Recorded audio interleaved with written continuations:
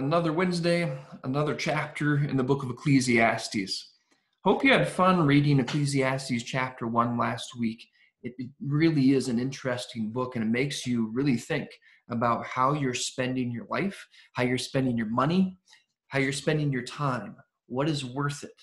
Ecclesiastes chapter 2 is going to carry that theme. What is the meaning of life here on this earth under the sun? Not not spiritual going to heaven but what are you going to be doing here right now? Chapter 2 is entitled chasing after the wind.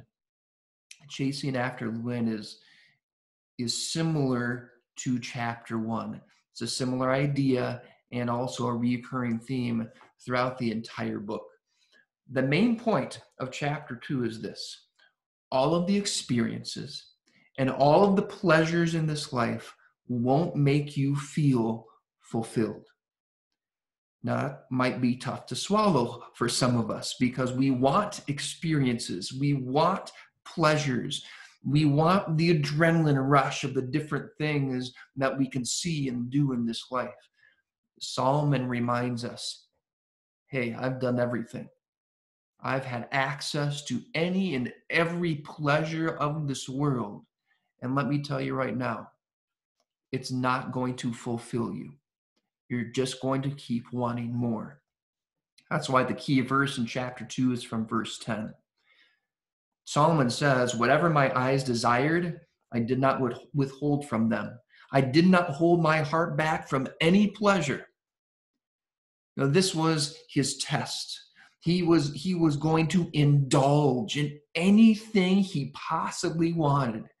He was not going to restrain himself from anything. Now, he wants us to learn from his mistakes. No reason to pursue those things at all. And you'll see in chapter two that he starts to list some of the things that he did and some of the things that he experienced. And a lot of those things we think, I'd love to do that, or I, I want to do that, or I want to have that. Solomon says, Don't bother. I've done it. Don't bother. You don't know what you're getting into. What you need to know for chapter two, well, there, there are kind of three different sections in chapter two. Solomon says all the experiences that he's had, yeah, they aren't really worth it. And all the wisdom that he gained, it's not really worth it. And all the work that he did, well, that's not really worth it either.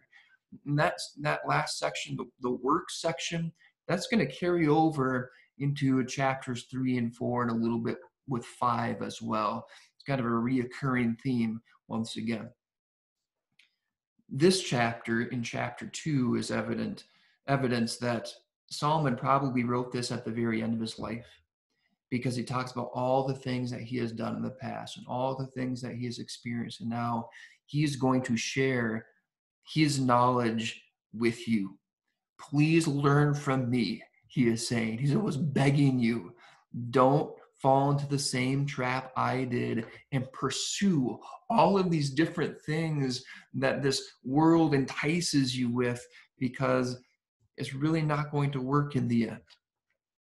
What else you need to know is that in verse 24 and 25, Solomon comes back to a theme that he he repeats over and over again.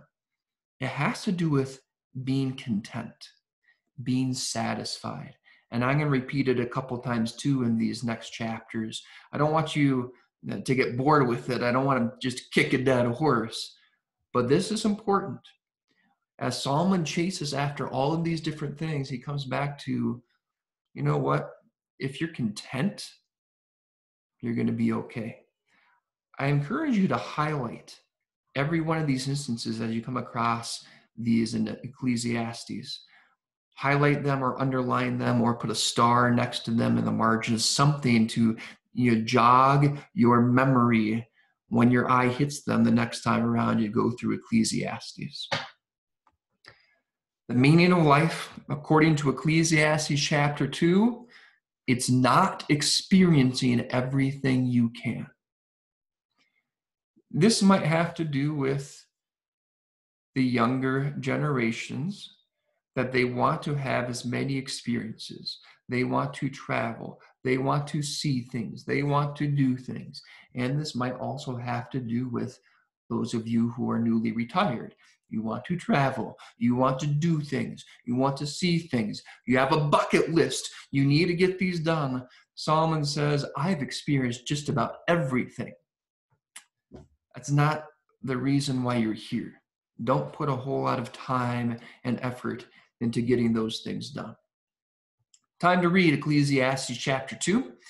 And remember, as you read through this, Solomon is just listing off everything he, he has done and experienced in order to find fulfillment. It doesn't work. But he does come to the conclusion when you are content, when you are satisfied and happy with what the Lord is giving you right now, that's a huge blessing from the Lord that you should never take for granted. Have a fun time of reading Ecclesiastes, Ecclesiastes chapter 2, and remember, uh, just get a hold of me if you have any questions. Have a good rest of the day.